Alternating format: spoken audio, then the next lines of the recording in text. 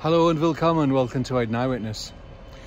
When I was a kid I used to wait here on Mersey Square just in front of the Plaza Cinema um, with my mum and we were waiting for the 71 operated by Northwestern, the Northwest uh, the Northwest Road Car Company. Sometimes we'd get the 30 that was operated by Stockport Corporation uh, from the other side of Mersey Square. It was a bit difficult in those days because the buses just parked in the square, there were no shelters there was a, a kind of building with a slopey roof and steps up to it, but didn't really provide proper shelter. But today, things are different because the transport interchange is open. In fact, I was on the very first bus to arrive at and depart from the interchange. Uh, which bus was that? We'll find out later. It's 5.27am on the 17th of March 2024, St Patrick's Day, as we enter the new interchange from Mersey Square. The doors open in front of us, and immediately there's the smell of plaster that hasn't dried completely. Inside, it's plush, modern, pristine. There's a line in the middle to provide orientation, and we go through this tunnel. It looks so new and clean. This could be the tunnel used by astronauts on the way to the spaceship at NASA. But actually, we're passing under a viaduct that was built in the 1820s, carrying one of England's great highways above our heads, the A6, used by the 192 bus, which is reported to be the busiest route in the UK. The plan of the interchange looks organic. Is that a black and white whale? As we enter the main concourse, it's clean, spacious, bright, and so wonderfully new. It won't look like this forever. Walking outside, we can see those massive windows. We'll return when it's daylight, but right now, the light pours out from the inside. It's like the Chateau de Versailles, but more modern and curvier. There are the steps going up to the upper level, the level of the park, but the park is not open yet. It will open tomorrow, on Monday, the 18th of March. The stands curve gracefully along the concourse. They are labelled with letters. The poster says, Welcome to Stockport Interchange. At this time of the morning, you'll have to spend 20 pence to get into the toilets, but during the day, they are free to access.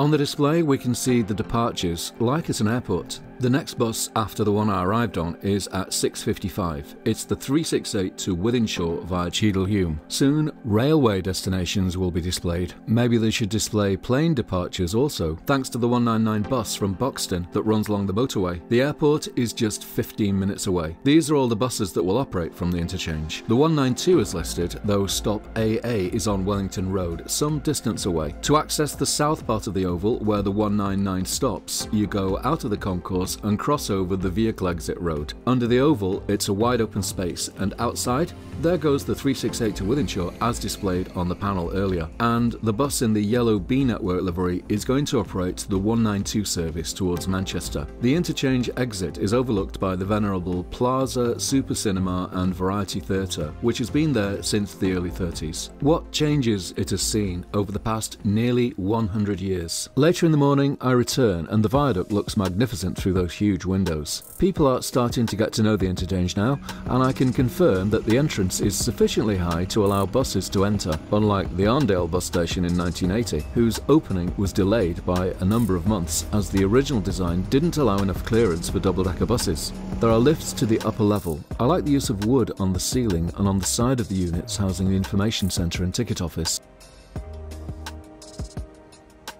Inside it's bright and cheerful, with those huge windows on both sides. Here are the stands with the buses, the new Bee Network livery on the left, the old Stagecoach livery on the right. That's the 203 heading into Manchester via Reddish and Belle Vue. Buses on this side of the oval reverse, a bit like planes but under their own power, and then make their way out either via the north or the south exit. That's the 384 circular route through Romiley, then Marple. Now let's return to my favourite viewpoint and turn the clock back to see it as it was.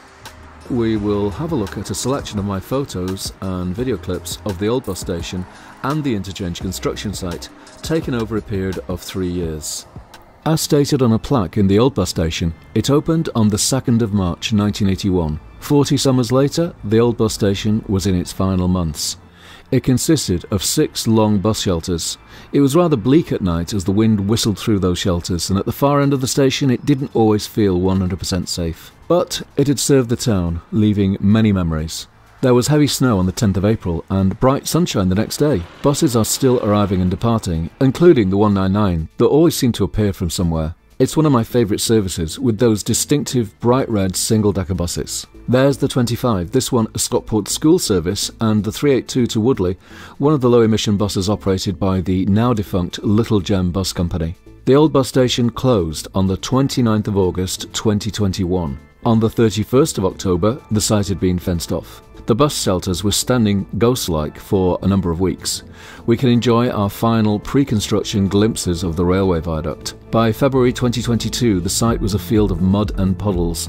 It seemed unlikely that anything solid could ever arise from this mess, but arise it did. First, we saw one of the two concrete cores of the residential building. We could still enjoy the uninterrupted view of the rest of the viaduct, but that would not be for much longer. By August 2022, the second concrete core had joined the first, both part of the residential building that would rise out of the base of the transport interchange. More and more of the structures started to appear, and the lower floors began to take shape. By April 2022, something resembling a building was beginning to emerge, like one of my Lego brick constructions, a complex amalgam of concrete, steel, and other materials. Soon, the exterior was visible, rather beige, recalling that other bus station in the Arndale Centre that never reopened after the 1996 bomb. At least this is a lighter shade of beige. The new residential building was already making its presence felt in the town centre, and from my favourite vantage point, we could see work was proceeding well. That house on Wellington Road South will hopefully be brought back to life. The River Mersey and the residential building are getting much closer to completion now, but we still can't see the final colours. The buses use the road next to the site to exit the bus depot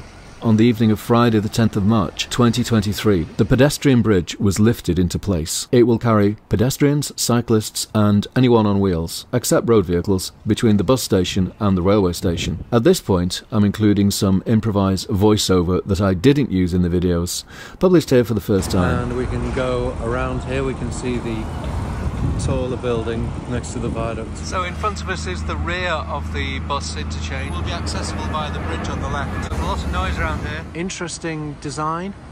And then the tall residential building just behind. There it is, the River Mersey wending its way westward. Actually, I think I'll stick to scripted voiceovers. The neighbouring residential tower, part of the Weir Mill project, has now risen up to the level of the viaduct. The area in front is still a field of mud, but the visualisations remind us of what is to come in just less than a year. It's September 2023, and the Weir Mill residential building has now completely hidden one whole arch and towers high above the Grade 2 listed viaduct, the first to do so in its 183 year history. And there's the spiral ramp that links ground level with the rooftop park. In February 2024, the Stockport interchange sign appeared. We knew that completion was very close. A long freight train crosses the viaduct. The future has nearly arrived. Here they are laying down some nice stonework, some sets next to the Mersey Square bus exit. It's only three weeks until the opening of the bridge, and it looks like there's still a huge amount of work to do. The pavement is still blocked, but from my favourite vantage point, it's looking more and more like a finished interchange. So let's now take a look at the footpath and park on their first day of opening, Monday the 18th of March. It's turned out exactly as expected. The footpath snakes down from the station leading past the oval opening. I walked down to check the journey time. It's just under five minutes at a brisk pace. From the station entrance to the entrance at the pavilion next to the park. Looking down at the buses, arriving and departing, they appear almost like toys. We proceed to the oval shaped entrance in the corner of the park leading down into the interchange. From inside, the park looks inviting. It's nice to walk along the footpath, bikes on the left, pedestrians on the right. The name of the park is Viaduct Park. We have this fabulous new view of the viaduct. Yeah, I heard other people complaining about that building too. Let's focus instead on some of the flora in the park. The gardens are pristine, but they'll need some taking care of. I think more security guards are needed. I noticed some antisocial behaviour. I love the two entrances for Wellington Road. Nice stonework on the gates. Looking towards the west, the viaduct is an iconic presence. Let's just reimagine it.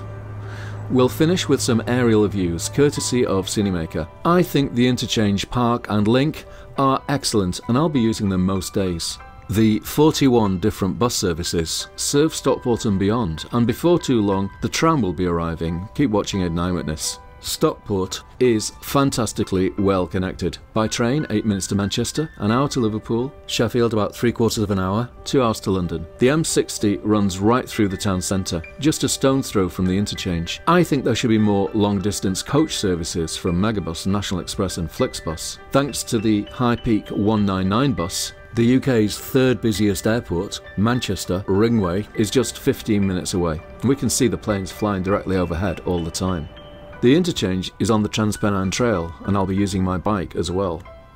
So I'm very happy to capture for posterity a happy and historic milestone the opening of Stockport's Transport Interchange, Rooftop Park, and railway station link. Oh, and one other thing. My dad would have liked it. He liked to ride the bus. And like I said, I was on the very first service to arrive and depart from the interchange. A Transport for Greater Manchester official got on at the stop before and guided the driver into and around the interchange to the stop where officials and photographers were waiting. It arrived at about 20 past four. It was the 199 from Buxton to Manchester Airport, the one with the friendly drivers, and this one was making the most of the occasion with lots of humorous comments. I stayed on so I could be on the very first departure from the interchange and came back from the airport on the return journey. So if you found this video informative, please like and subscribe, and if you have any opinions or insider information to share, you can post a comment, please be courteous. With YouTube channels, time is of the essence, especially mine. So if you can help me to reach my goals more quickly, please tell a few people about my channel and consider donating via www.buymeacoffee.com slash. Link below. Vielen Dank fürs Zuschauen und auf Wiedersehen im Stockport Interchange.